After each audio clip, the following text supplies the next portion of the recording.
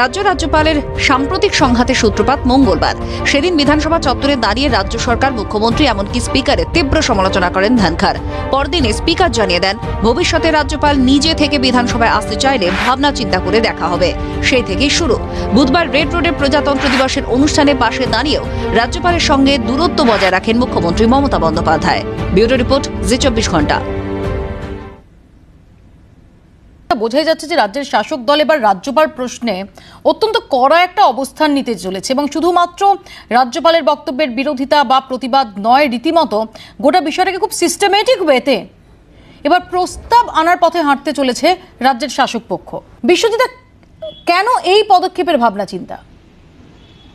দেখুন, গত দু বছর ধরে ওনার অ্যাক্টিভিটিস আমরা দেখছি। এটা রাজ্যপাল সুলভ আচরণ না আমাদের মাঝে মধ্যে মনে হয় যে বিজেপির রাজ্য সভা সভাপতিটা কে? সুকান্ত মজুমদার না জগদীপ ধনকার? আজকে উনি যেটা করছেন, উনি বিজেপির সভাপতির কাজটা উনি করছেন। আজকে বিজেপির পার্টি অফিসে পরিণত করে দিয়েছেন আজকে রাজভবনটাকে। ওনার জানা উচিত যে ওনার লিমিটেশনটা কত দূর। ওনার এখতিয়ার কত দূর ওনার জানা উচিত।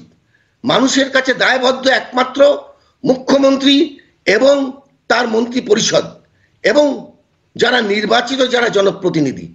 এখানে ওনার কি কি কাজ আছে?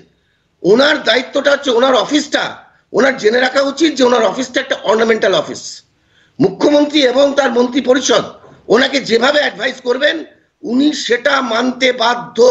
ওনার কোনো ডিসক্রিপশনারি পাওয়ার নেই। সংবিধান ওনাকে কোনো ডিসক্রিপশনারি পাওয়ার দেয়নি। একমাত্র ডিসক্রিপশনারি পাওয়ার উত্তর পূর্ব ভারতের কয়েকটি রাজ্যের রাজ্যপালের আছে এবং সেটাও সিক্স শিডিউলের আন্ডারে অটোনোমাস কাউন্সিল এগুলো আছে। সেই সব এরিয়াগুলোতে তাদের কিছুটা ডিসক্রিপশনারি পাওয়ার আছে। কিন্তু অন্যান্য রাজ্যের ক্ষেত্রে যেসব রাজ্যে six schedule applicable না, সেই সব রাজ্যে রাজ্যপালের কোনো ডিসক্রিপশনারি পাওয়ার নেই। উনি যেটা করছেন উনি বিজেপির মুখপাত্রের কাজ করছেন। উনি রাজ্য উনি রাজভবনটাকে অত্যন্ত লজ্জাজনক ভাবে বিজেপির পার্টি অফিসে পরিণত করে দিয়েছেন। এটা দুর্ভাগ্য। বাংলার দুর্ভাগ্য বাংলার মানুষের দুর্ভাগ্য। আজকে উনি গণতন্ত্রের কথা বলছেন আজকে উনি সংবিধানের কথা বলছেন। আরে সংবিধান তো উনি মানছেন না। এটা বাংলার দুর্ভাগ্য। আপনার কাছে। আমি শতরূপের কাছে আসব কারণ শতরূপদের একটা দীর্ঘদিন ধরে আহ, একটা বিষয় তারা প্রকাশে আনে যে আদৌ রাজ্যপালের যে পদ সেই পদের যথার্থতা নিয়েই বামেদের মধ্যে নানা রকমের প্রশ্ন নানা রকমের আলোচনা, চর্চা রয়েছে। সেক্ষেত্রে আমার তোমার কাছে প্রশ্ন শতরূপ যে সেক্ষেত্রে দাঁড়িয়ে এই রাজ্যের শাসক পক্ষ, রাজ্যপাল ইস্যুতে যে স্ট্যান্ড নিচ্ছে, তোমরা কি সেটাকে এন্ডোর্স করছ? মবিয়াদি ব্যাপারটা হচ্ছে আমাদের রাজ্যপালকে নিয়ে যে বক্তব্য, সে বক্তব্য বা রাজ্যপাল এই পদটাকে নিয়ে তার জগদীপ ধনকরের সময়ও যা, গোপালকৃষ্ণ গান্ধীর সময়ও তাই, একই। কারোর মুখ দেখে আমাদের স্ট্যান্ড পাল্টায় না। তৃণমূলের স্ট্যান্ডটাকে এন্ডোর্স করার এক্ষেত্রে এই কারণে প্রশ্ন নেই। তার কারণটা হচ্ছে ওনার এই রাজ্যপালের অ্যাক্টিভিটি পছন্দ হচ্ছে না বলে ওনাদের যা স্ট্যান্ড আর গোপালকৃষ্ণ গান্ধীর সময় দেখতাম বামফ্রন্ট আমলে, পার্থ চট্টোপাধ্যায় যতক্ষণ নিজের ভবনে থাকতেন, তার থেকে বেশিক্ষণ রাজভবনে থাকতেন। কিন্তু ওই কুরাজনীতি আমরা করব না। আমি এখানে পরিষ্কার বলছি মৌপিয়াদি জগদীপ ধনকরের যা আচরণ তার নিন্দনীয়ই বটে। আমাদের পার্টির এই নিয়ে কোনো, এটা মানতে কোনো দ্বিধা নেই, কোনো সংশয় নেই। এবং আমার সামাও মনে হয় ভদ্রলোকের বোধহয়, জগদীপ ধনকর এনার বোধহয় আরও কিছুদিন সক্রিয় রাজনীতিতে থাকার ইচ্ছে ছিল। এনাকে বোধহয় জোর করে রিটায়ার করিয়ে দিয়েছে এবং করে রাজ্যপাল বানিয়ে দিয়েছে। যে কারণে ইনি ম্যাচ রেফারি হওয়ার বদলে মাঝে মধ্যেই মাঠে খেলতে নেমে পড়ছেন জোর করে। উনি যে কাজগুলো করছেন তা অত্যন্ত অশোভনীয়, অত্যন্ত দৃষ্টিকটু, অসাংবিধানিক, এবং কোনো মতেই তা একজন রাজ্যপালকে মানায় না। এটা, এবং তার বিরুদ্ধে, এটা এটা নিন্দাজনকই বটে। সুতরাং এছাড়া আর আমাদের কি বলার থাকতে পারে? আমাদের এটা দেখতে খারাপ লাগছে যে পশ্চিমবাংলা এবং ওনাদের লিমিটেশনটা আমরা বুঝি। প্রস্তাব যদি আনা হয় আমরা তো বিধানসভায় নেই আমাদের তো সমর্থন করার ব্যাপার নেই কিন্তু নৈতিকভাবে। হ্যাঁ নৈতিকভাবে তো বলছি ওনার আচরণ ওনার আচরণ নিন্দনীয় এই নিয়ে কোনো সন্দেহ নেই এবং এটা আমরা আগেও বলেছি। আমার একটা কথা তোমায় বলি মৌপিয়াতে ওনার কম্পালশনটাও বুঝতে পারছি পশ্চিমবাংলায় এখন দেখুন রাজ্যপাল ছাব্বিশে জানুয়ারি যে কথাগুলো বললেন বিধানসভায় দাঁড়িয়ে আপনি যদি আলাদা করে কথাগুলোকে নিয়ে আমায় প্রশ্ন করেন মৌপিয়াদি তৃণমূলের দুর্নীতি অগণতন্ত্র নিয়ে আমি অনেক প্রশ্নেই আমাদের দল অনেক প্রশ্নেই ওনার বক্তব্যের কিছু বক্তব্যের সাথে একমত কিন্তু প্রশ্নটা হচ্ছে এটা যদি দিলীপ ঘোষ বা সুকান্ত মজুমদার বলতেন সেটা একটা জিনিস তারা বিরোধী একটা দলের নেতা। কিন্তু রাজ্যের রাজ্যপালের এটা কাজ হতে পারে না যে বিধানসভায় দাঁড়িয়ে তিনি এক বিরোধী দলের নেতার মতো করে প্রেস কনফারেন্স আমি চন্দনদার অবস্থান একটু জানার চেষ্টা করব চন্দনদা দেখো মৌপিয়া, একটি কথা পরিষ্কারভাবে বুঝতেই হবে, সেটা হলো বিশ্বজিৎরা যেভাবে এক্সপ্লেন করলেন, এটা অবশ্যই একটা পার্টি লাইন এক্সপ্লেনেশন কিন্তু আমি পাশাপাশিভাবে এটা বলব যে রাজ্যপালের পদাধিকারের যে জায়গাটা, সেটা শুধুমাত্র অলঙ্কৃত নয়, সেখানে অনেকগুলো ডিসক্রিপশন অফ পাওয়ার আছে। কিন্তু প্রশ্নটা হচ্ছে যে রাজ্যপাল সাধারণত একটা ইলেক্টেড গভর্নমেন্ট তার সাথে খুব স্বাভাবিক, তার একটা গাইডলাইন মেনে চলেন এবং সাধারণভাবে একটা রাজ্যপাল অভিভাবকত্বের ভূমিকাটা পালন করেন। যে গার্ডিয়ানশিপটা আমরা দেখছি, রাজ্যপালের ক্ষেত্রে সম্পূর্ণ রকম একটি দলের গার্ডিয়ান হয়ে গেছেন। ইনফ্যাক্ট আমরা যেটা বারবার বলি, সেটা হলো যে রাজ্যপালের কাছে কিন্তু তুমি একটু ভালো করে যদি, দেখো যেটা তোমরা স্টাডি করো, আমরা কিন্তু বারবার দেখি ইদানিংকালে কোনো বিরোধী দল কিন্তু রাজ্যপালের কাছে কমপ্লেন করতে যান না। সজলদার কাছে এখানে প্রশ্ন যে সজলদা যে রাজ্যপালের বিরুদ্ধে যে অভিযোগটা তৃণমূল কংগ্রেস বা অন্য বিরোধীরা করে থাকে, যে রাজ্যপাল তিনি নাকি তার যে সাংবিধানিক এখতিয়ার, সেটা লঙ্ঘন করছেন রাজভবন বিজেপির পার্টি অফিসে পরিণত হয়েছে, ইত্যাদি ইত্যাদি। এবার তার থেকেও এক ধাপ এগিয়ে শাসক পক্ষ নিন্দা প্রস্তাব আনার বিষয়ে উদ্যোগী হচ্ছে। এই সম্পর্কে আপনার কি প্রতিক্রিয়া? প্রথম আমি জানতে চাই, রাজ্যপাল অন্যায়টা কি করলেন? হ্যাঁ শতরূপ এতক্ষণ বলছিলেন যে রাজ্যপাল তিনি বিজেপির মতন অ্যাক্টিং করছেন আরও কিছুদিন যদি মানে ওনার রাজনীতি করার ইচ্ছে ছিল, ইত্যাদি ইত্যাদি কথা। কিন্তু শতরূপদের সিনিয়র মানে শতরূপদের রাজনৈতিক যারা সিনিয়র বিমান বোস, তিনি রাস্তায় স্লোগান দিয়েছিলেন, লালা দেশ ছেড়ে পা, বাংলা ছেড়ে পালা। অতএব যখনই বিচার ব্যবস্থা হোক বা সাংবিধানিক ব্যবস্থা, যখনই সরকারের বিরুদ্ধে কথা বলে, তখন সরকার খড়গহস্ত হয়, এটাই স্বাভাবিক। আপনি বলতে হবে তো, রাজ্যপাল যে কথাগুলো বলছেন, এখন বিধানসভায় দাঁড়িয়ে বলছেন, এটা আপনার গায়ে জ্বালা করছে। এটা একটা অন্য প্রশ্ন হতে পারে। আপনি তার ডেকোরাম নিয়ে প্রশ্ন করছেন আচ্ছা ঠিক আছে, আমি তর্কের খাতিরে সেটুকু মেনে নিলাম। যদি প্রশ্ন করি, রাজ্যপাল কি একটাও অন্যায় কথা বলছেন? রাজ্যপাল বলছেন যে, আমার কাছে তথ্যগুলো অবধি সরকার পৌঁছে দেয় না। রাজ্যপাল জানতে চাইলে ডিজিকে ডাকলে তিনি আসেন না। রাজ্যপাল চিফ সেক্রেটারিকে ডাকলে তিনি অমান্য করেন। রাজ্যপালকে যারা প্রতিনিয়ত অসম্মানও করেন তখন সেটা নিয়ে কোনো কেউ সরব হয় না। আর গোপাল কৃষ্ণ গান্ধীরা যখন সেই আগের সরকারের সমালোচনা করেছিলেন, তখন আজকেই বিশ্বজিৎ বাবুরা যারা বসে আছেন, তারা তখন দু হাত তুলে ধেই ধেই করে রাজ্যপালের হয়ে ওরা কীর্তন গিয়েছিলেন। আজকে সে কথা ওদের মাথায় নেই ওনাদের মাথায় নেই। আসলে লঙ্কায় এসে ওনারাও রাবণী হয়েছেন। হ্যাঁ মামাটি মানুষের জন্য শতরূপ ওনারা কিছু নেই, respond এটা করতে চায়, আবার শতরূপ। প্রমাণিত। আমি খালি দুটো কথা বলছি। প্রথম কথা সজলদা যে অমিতাভ লালার কথাটা তুললেন অমিতাভ লালা সংবিধান রক্ষা করছিলেন না সংবিধান বিরোধী একটা কথা বলেছিলেন। সংবিধান দেশের মানুষকে মিটিং মিছিল করার অধিকার দিয়েছিল অমিতাভ লালা সেটাকে ভায়োলেট করতে চেয়েছিলেন। যদি কালকে আবার কেউ করেন তাকেও আমরা বাংলা থেকে পালাতেই বলব। এই নিয়ে আমাদের কোনো দ্বিধা নেই। এবং দ্বিতীয় কথা হচ্ছে রাজ্যপাল কোন সজলদা, আমি কথাটা শেষ করি, আমি আপনাকে ইন্টারাপ্ট করিনি আমি আপনাকে ইন্টারাপ্ট করিনি। রাজ্যপাল কোন আমি আপনাকে ইন্টারাপ্ট করিনি আমি আপনাকে ইন্টারাপ্ট করিনি। দ্বিতীয় কথা হচ্ছে আমি মৌপিয়াদি একটা কথা বলছি এখানে। সেটা হচ্ছে যে তোমার কাছে এটা আমার অনুরোধ যে এখানে শুধুমাত্র রাজ্যপাল এবং মুখ্যমন্ত্রীর সংঘাতটাকে দেখাচ্ছ তাহলে বোধ হয় অন্ধের হস্তি দর্শন হবে। একটু বন্ধুত্বটার কথাও যেন আমরা ভুলে না যাই যে কেন্দ্রীয় গোয়েন্দারা অভিষেক বন্দ্যোপাধ্যায়ের বাড়িতে কয়লা কেসে তদন্ত করতে গেল মুখ্যমন্ত্রী নবান্ন থেকে বেরিয়ে হঠাৎ করে গাড়ি ঘুরিয়ে চলে গেলেন রাজভবনে। এই রাজ্যপালের আজ থেকে কয়েক মাস আগেকার কথা। এই রাজ্যপালের সঙ্গে বন্ধ দরজার আড়ালে কি মিটিং হলো কোথায় কোথায় ফোন গেল আমরা কেউ জানি না। একটু পরে গোয়েন্দারা সেক্ষেত্রে শতরূপ সেক্ষেত্রে তো এই প্রশ্ন উঠবে যে তো এই বন্ধুত্বগুলো বেশ কিছু এই সরকার এই সরকার সম্পর্কে প্রশাসন সম্পর্কে বেশ কিছু অভাব অভিযোগ নিয়ে তোমাদের নেতা এবং কংগ্রেসের নেতা তারা এই রাজ্যপালের দ্বারস্থ absolute, হয়েছিলেন। এই রাজ্যপাল বলে না একটা চেয়ারের দ্বারস্থ হয়েছিলেন। যতক্ষণ দেশের সংবিধান একটা চেয়ারকে রেখেছে আমাদের তো যাওয়ার দ্বিতীয় কোনো জায়গা নেই। কিন্তু কথাটা হচ্ছে যে আমি তোমাকে যেটা বললাম আমাদের অবস্থান রাজ্যপাল এই পদটা সম্পর্কে বাংলায় এবং কেরালায় এক নয় গোপালকৃষ্ণ গান্ধীর সময় এবং জগদীপ ধনকরের সময় এক নয়। তৃণমূলের মতো গোপালকৃষ্ণ গান্ধী ভালো রাজ্যপাল আর জগদীপ ধনকর খারাপ রাজ্যপাল গোপালকৃষ্ণ গান্ধী যদি বলেন যে নন্দীগ্রামে হার হিম করা সন্ত্রাস হচ্ছে তিনি বিরাট সাংবিধানিক কাজ করছেন। আর রাজ্যপাল যদি এখন এই এই জগদীপ ধনকর বিধানসভায় গিয়ে বলেন যে রাজ্যে খারাপ কিছু হচ্ছে তখন উনি ভায়োলেট করছেন। আমরা এরকমভাবে আমরা আমাদের লং পাল্টাই না গিরগিটির মতো। মৌপিয়া এখানে আমি একটি কথা হ্যাঁ, একটু। সংযোজন করতে চাইছি। আমি আমি একটু সংযোজন করি সজল- বিশ্বজিৎ এক ইয়ে, বিশ্বজিৎ এক মিনিট। আমি শুধু ভালো রাজ্যপাল ছিলেন আমি আমি শুধু আমি শুধু একটা সংযোজন করব। আমি তোমাকে একদম প্র্যাকটিক্যালি কয়েক মাসের ব্যবধানের কথা বলি। আমরা জানি রাজ্যপাল কীভাবে চোখের জল পেরেছিলেন এবং কোন দলের নেতাদের প্রতি ওরা চোখের জল পড়েছিল এটা আমরা প্র্যাকটিক্যালি দেখেছি নন্দীগ্রামে গিয়ে। কিন্তু কলকাতা কর্পোরেশনের ষোলো নম্বর ওয়ার্ডে আমাদের প্রার্থীকে নির্মমভাবে মারা হয়েছে। সেখানে কিন্তু রাজ্যপালের একটি শব্দ বেরোয়নি। ইনফ্যাক্ট আমি বারবার এই প্রসঙ্গটাই তুলছি যে এটা একটা অভিমুখ। এই অভিমুখটা কিন্তু সম্পূর্ণ বিজেপির অভিভাবক করতে জায়গা। বাবুল সুপ্রিয় যাদবপুর ইউনিভার্সিটিতে গেছিলেন ছাত্ররা বিক্ষোভ দেখিয়েছিল বলে। নিজের গাড়ি নিয়ে যাদবপুর ইউনিভার্সিটি পৌঁছে গেছিলেন বাবুল সুপ্রিয়কে বার করে আনবেন বলে। আর এখানে একজন ক্যান্ডিডেটকে মাটিতে তাকে বিবস্ত্র করে মারা হলো রাজ্যপালের মুখ থেকে একটা কথা বেরোলো না। এই. পার্টিসান ভূমিকা কিন্তু আমরা দেখে দেখছি এটা। বিশ্বজিৎ দা কিছু বলছিলেন বিশ্বজিৎ আমি আসব আপনার কাছে তার আগে একবার তথাগত রায় যিনি নিজেও একাধিক রাজ্যের রাজ্যপাল হিসেবে তার দায়িত্ব পালন করেছেন তিনি কি বলেছেন শুনব? কিছু অধিকার রাজ্যপালের আছে যেটা একেবারে কোনোভাবেই কেড়ে নেওয়া যায় না। তার মধ্যে একটা হচ্ছে একশো সাতষট্টি বি অনুচ্ছেদে। সংবিধানের একশো সাতষট্টি বি অনুচ্ছেদে রাজ্যপালের তথ্য জানবার একেবারে আনকোয়ালিফাইড রাইট আছে। উনি যা তথ্য জানতে চান সেটা রাজ্য সরকার দিতে বাধ্য। এর মধ্যে কোনো কিন্তু নেই। আমি আবারও বলছি, উনি রাজভবনটাকে বিজেপির পার্টি অফিসে পরিণত করে দিয়েছেন।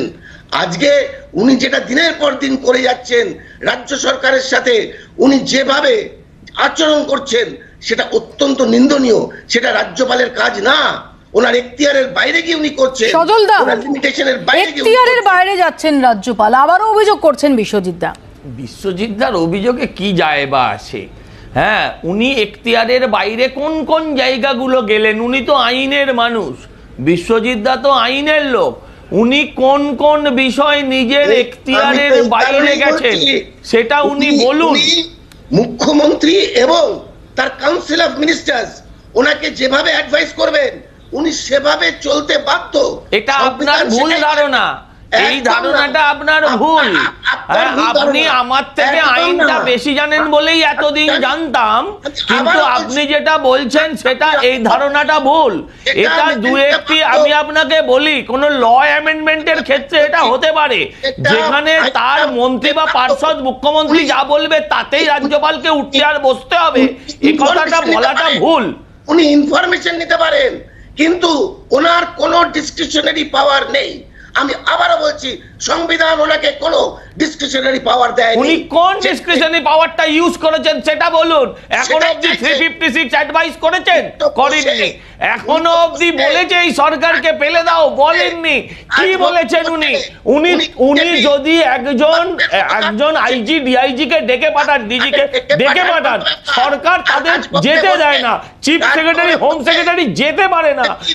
ডিএম কে ডাকলে ডিএম পৌঁছায় না। এইভাবে রাজ্যপালকে এই রাজ্যে অপমান করা হচ্ছে প্রতিদিন। রাজ্যপালকে অপমান করা হচ্ছে।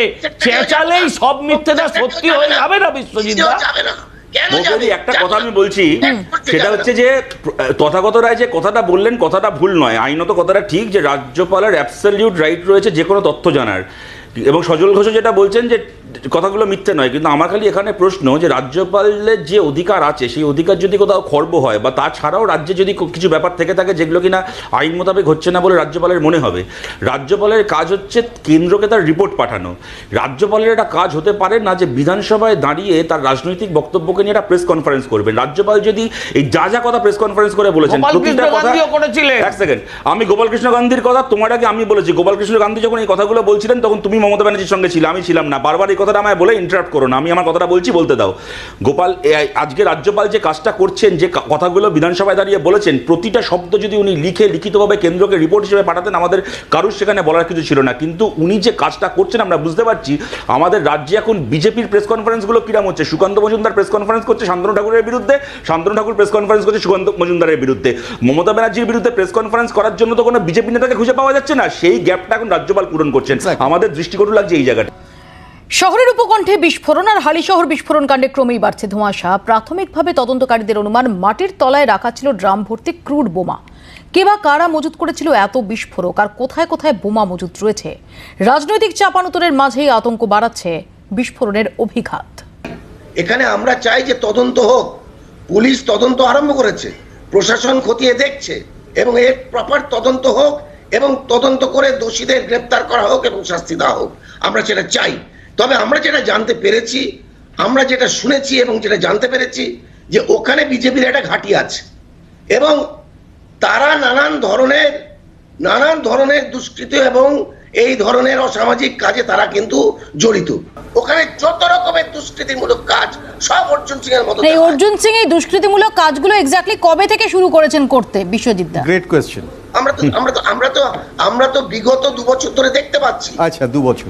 তার আগে তার আগে আচ্ছা তিনি এখন দুষ্কৃতিমূলক কাজ করেন তার আগে তিনি করতেন না। দেখতে পাচ্ছেন তার আগে তিনি তার আগে তার আগে তিনি সুবোধ বালক ছিলেন। মবিয়াদিরা কথা বলতে পারি? হ্যাঁ প্লিজ শতরূপ বিশ্বজিৎ দা হয়তো গত দু বছর ধরে দেখতে পাচ্ছেন কিন্তু ওনারই দলের নেতা জ্যোতিপ্রিয় মল্লিক আরও আগে থেকে দেখতে পাচ্ছেন। কদিন আগে জ্যোতিপ্রিয় মল্লিক বললেন যে সিপিএম এর আমলেও অর্জুন বিভিন্ন জায়গায় গিয়ে বোমটম মেরে এসে আমাদেরকে বলতো সিপিএম মেরেছে। জ্যোতিপ্রিয় মল্লিক এটা জানালেন যে সিপিআইএম এর আমলে এক অর্জুন সিং দুষ্কৃতী ছিল দুই সিপিআইএম সরকারের যে যে কিনা তৃণমূলের নেতা ছিল এবং দুই সিপিআইএম আমলেও যে ঘটনাগুলোর জন্য সিপিআইএমকে দোষ দিতেন মমতা বন্দ্যোপাধ্যায় সেগুলো আসলে ওনার দলের কর্মী ওনার দলের নেতা অর্জুন সিং এর করা এটা জ্যোতিপ্রিয় মল্লিক এই তিন দিন আগে জানিয়েছেন। দু নম্বর কথা আমি বলি আজকে মৌপিয়াদি আজকে এই যে এটা হচ্ছে না এনআইএ তদন্ত হ্যাঁ আপনি না জানতে পারেন কিন্তু বাকি আপনাকে বাদ দিয়ে বাকি পৃথিবী জানে। দ্বিতীয় কথা হচ্ছে যে আজকে এনআইএ তদন্ত শুভেন্দু অধিকারী চাইছেন উনি কার কাছে এক্স্যাক্টলি চাইছেন আমি জানি না কেননা আমরা জানি এনআইএ তদন্ত করার জন্য কোনো রাজ্য সরকারের অ্যাপ্রুভাল লাগে না। কোথাও যদি কোনো রকম কোনো নাশকতামূলক কাজে কোনো রকমের কোনো জঙ্গি ইনভলভমেন্টের এতটুকু কোনো সন্দেহের জায়গা থাকে এনআইএ এমনি তদন্ত করতে পারে। তা- তদন্ত তদন্ত হতেই পারে। শুভেন্দু অধিকারী কেন্দ্র সরকারকে বলুক এখানে বলে কি হবে? এবং আমি একটা কথা বলি এখানে মৌপিয়াদি বিশ্বজিৎ দা এখানে যেটা বলছেন না তদন্ত হবে। অর্জুন সিং এর বাড়ির সামনে বোমা পড়ার যে ঘটনা ঘটেছে তাতেও এনআইএর আমি আমি বলছি মৌপিয়াদি দেখো এই যে এই যে বিশ্বজিৎ বাবু যে কথাটা বলছেন এটা একটা অত্যন্ত ক্লিশে কথা অত্যন্ত স্টিরিওটাইপ একটা কথা যেটা ঘটনা ঘটে যাওয়ার পরে সব শাসক এইটা বলে তদন্ত হচ্ছে শাস্তি হবে। আমি জানতে চাই কার শাস্তি হয়েছে গো? নৈহাটির ঘটনা তোমরা এখানে দেখালে দু বছর আগে নৈহাটিতে নদীর এপারে এমন বিস্ফোরণ হলো নদীর ওপারে চুচুড়ায় বাড়ির কাঁচ ভেঙে পড়ল দরজা জানলা ভেঙে পড়ল। তারপরে কি হলো? পুলিশ থেকে ঘটনাটাকে এই বলে চেপে দেওয়া হলো যে নৈহাটিতে নাকি কোনো বিস্ফোরণ ঘটেনি? পুলিশ নাকি মজুদ বোমা ডিফিউজ করছিল? ডিফিউজ করতে গিয়ে এমন বিস্ফোরণ হয়েছে যে গঙ্গার ওপারে চুচুড়ায় বাড়ি ভেঙে গেছে। এই করে চেপে দেওয়া হলো ঘটনাটাকে। আমি আর তার সাথে তোমাকে মনে করাই জাস্ট তিন চার দিন আগেকার কথা। গর্বেতায় মাটির তলায় অস্ত্র ভাণ্ডার পাওয়া গেল। পুলিশ থেকে শুরু করে তৃণমূল নেতারা এত বড় একটা কাণ্ডকে এই বলে চেপে দিলেন পনেরো বছর আগে যখন ওখানে সুশান্ত ঘোষ এমএলএ ছিলেন আজ ওখানে এত বছর ধরে রাজ্যে এগারো বছর হয়ে গেল সরকার চালাচ্ছে তৃণমূল। সুশান্ত ঘোষ নাকি যখন এমএলএ ছিলেন উনি নাকি অস্ত্র রেখেছিলেন সেই অস্ত্র একদিন পরে শিবলিঙ্গের মতো মাটি থেকে বেরিয়ে আসছে। এই করে করে একটার পর একটা ঘটনা ওনারা চেপে দেন। পশ্চিমবাংলা বারুদের স্তূপের ওপর দাঁড়িয়ে আছে এবং তুমি দেখবে যত ঘটনা বিরোধী কর্মীরা খুন হয়েছে গত সাত আট বছর দশ বছরে প্রত্যেকবার তৃণমূলের পক্ষ থেকে এই বিষয় আমি আপনাকে একবার ইন্টারাপ্ট করিনি আপনি প্লিজ করবেন না। আপনি বলার সুযোগ পাবেন আপনার বলার সময়। যতবার এরকম কোনো ঘটনা ঘটেছে যে বিরোধী দল হোক সে বামপন্থীরা হোক কংগ্রেস হোক বিজেপি হোক কোনো বিরোধী কর্মী খুন হয়েছে প্রত্যেকবার তৃণমূল নেতারা এই বলে দায় এড়িয়েছে তৃণমূলের নেতা মন্ত্রীরা যেটা শরিকি ঝামেলা গ্রাম্য বিবাদ ওদের দলীয় অন্তর কলহ আমাদের প্রশ্ন হচ্ছে যদি কোনো শরিকি বিবাদ গ্রাম্য বিবাদ দলীয় বিবাদেও অস্ত্র বেরিয়ে আসে তার মানে হচ্ছে পশ্চিমবাংলায় বেআইনি অস্ত্র হাতে হাতে ঘুরে বেড়াচ্ছে।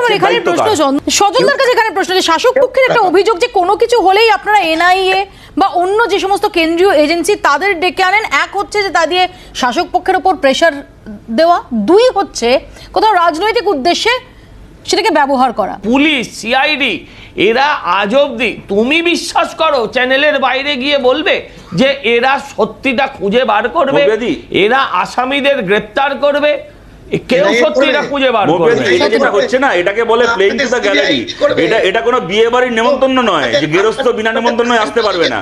এনআইএ কে ডেকে আনতে হয় না যে বলছেন এনআইএ কে ডাকা কেন হবে না? কে ডাকবে? এনআইএ কে এনআইএ যদি মনে করে তদন্ত করবে এনআইএ এর এভরি রাইট আছে তদন্ত করার। কে আবার করবে, ডাকা ডাকির কি চিন্তা করো না করবে রে বাবা। করলে ভালো কথা কিন্তু আমরা এটা হ্যাঁ, দেখেছিলাম এর। আগে খাগড়াগড়ে যখন বিস্ফোরণ হয়েছিল হ্যাঁ। এখানে এনআইএ তদন্ত করল এনআইএ আসতে তিন দিন সময় লাগালো তার আগে তৃণমূল সব প্রমাণ লোপাট করে দিল। তারপরে রাজনাথ সিং আসামে সভা করতে গিয়ে তৃণমূল সরকারকে সার্টিফিকেট দিলেন যে তৃণমূল দারুণ তদন্ত করছিল খাগড়াগড়ে। এনআইএ গিয়ে দেখেছে তৃণমূল স্যাটিসফ্যাক্টরি তদন্ত করেছে। এইসব নাটক আমাদের দেখা আছে এবং তার সঙ্গে আমি বলছি মৌপিয়াদি এইরকম একটা ঘটনা আমি তোমাকে একটা ঘটনা মনে করাই দু বছর আগে আমরা এই ঘটনাগুলো ভুলেও যাই এটা বোধহয় আমাদেরই লজ্জা। এই দমদমে নাগের বাজারে একটা ঘটনা ঘটলো মনে আছে? মিষ্টির দোকানের বাইরে বোম ব্লাস্ট হলো। আট বছরের একটা বাচ্চা ছেলে বিভাস ঘোষ ছেলেটার নাম ছিল আমার যদি ভুল না হয়। সেই আট বছরের একটা বাচ্চা ছেলে খেলতে গিয়ে সেই বিস্ফোরণে মারা মারা গেল। কতগুলো আর এরকম ঘটনা ঘটবে বলো তো? পশ্চিমবাংলায় একটার পর একটা। কবে এবং হালি শহরে কদিন পরে ভোট আছে? তুমি যেরকম কারেক্টলি মেনশন করলে সামনে ভোট ওখানে পুরসভার ভোট হবে। পশ্চিমবাংলায় একশো সাতাশটার উপর পুরসভার এখন ভোট আছে কয়েক দিনের মধ্যে। এই অস্ত্রগুলো যেগুলো মজুত করা হচ্ছে পুরসভা ভোটকে সামনে রেখে মজুত করা হচ্ছে কিনা এটাও তো দেখতে হবে। এগুলো কে দেখবে সত্যি সত্যি যদি সদিচ্ছা থাকে। মেদিনীপুরের বক্তার মন্ডলে দাঁত ছাড়া হ্যাঁ, কিছু খুঁজে পাওয়া যায়নি যাদের আমলে? তারা সুন্দর কথা বলছে কারা হ্যাঁ? কারা এই ঘটনা ঘটিয়েছে? কারা এই ঘটনা ঘটিয়েছে? এবং কারা এর জন্য দায়ী? নিশ্চয়ই। আজকে পুলিশ এবং প্রশাসন সেটা খুঁজে মন্ডলের দাঁত ছাড়া কিছু খুঁজে পাওয়া যায়নি। বামফ্রন্ট আম- আম- আমলে আপনাকে খুরসজল বলা হতো। ছাত্র রাজনীতিতে প্রথম খুন এনেছিলেন আপনি। ওইসব আলোচনা ছাড়ুন না। আজকে যেটাকে নিয়ে আলোচনা সেটাই আসুন। কথা বললে। ছাত্রদের ছাত্র রাজনীতিতে খুরসজল খুরসজল যদি খুর সজল আমার নাম হয় তাহলে তোমার পুলিশরা কি করছিল বাবু? রক্তের হোলি খেলেছেন আপনারা। চৌত্রিশ বছর। নাম ছিল মেরে সোমেন বাড়িতে গিয়ে লুকিয়ে আপনাকে জানেন না? স্মরণ করিয়ে দিতেই হবে। আজকে বছরের ওপর কিন্তু এই তৃণমূল সরকার। আজকে বছরের ওপর। তৃণমূল সরকার। এখনও পর্যন্ত ফ্রন্টের আন্দোলন সময় অপরাধের রিপোর্ট কোথায়? কোথায়? তৃণমূল করালো, ওই জন্য তৃণমূল ছেড়ে বিজেপিতে চলে যেতে হলো।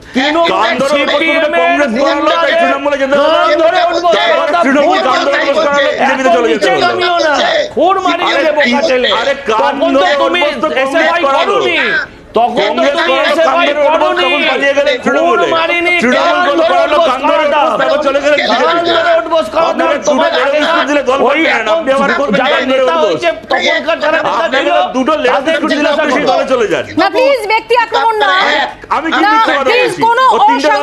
বক্তব্য নয় দাঁড়া, অসংসদীয় বক্তব্য নয় হ্যাঁ, আমার ভাইয়ের মতো বাজারে লোকে বলে আমার ছেলের মতো। কিন্তু আমাকে এক লাইন বলতে দেওয়া হোক। আমি যে তিনটে দল করেছি। আমি তো কংগ্রেস শুনি আপনার বাবা কংগ্রেস নেতা তারপর শুনি আপনার বাবা তৃণমূল নেতা তারপর শুনি আপনার বাবা বিজেপি নেতা আমি তো ভাবি সঙ্গে একই লোক না তিনজন আলাদা লোক। আরে আমি তিনটে দল করেছি। আমি তো আমি তিনটে দল করেছি। করে আমি একটা নির্বাচন জিতেছি। তুমি তিনশো তৃণমূল নেতা ছেড়ে বছর সজল ঘোষ। করছ। তারপর শুনি বিজেপি ঘোষ। হারো। আমি বুঝতে পারি না। আরে তিনবার ভোটে হেরে আপনি তিনবার নাম হচ্ছে হেরো আমি কখনো আমি বললাম তোমার নাম হেরো সতেরো। আপনার লেও নাম হেরো দিয়ে সারা জীবনে একটা নির্বাচন আমি হেরো সজল জিতে সজল। তারপর দিয়ে কথা দল আছে আমার উপর। আমি আরে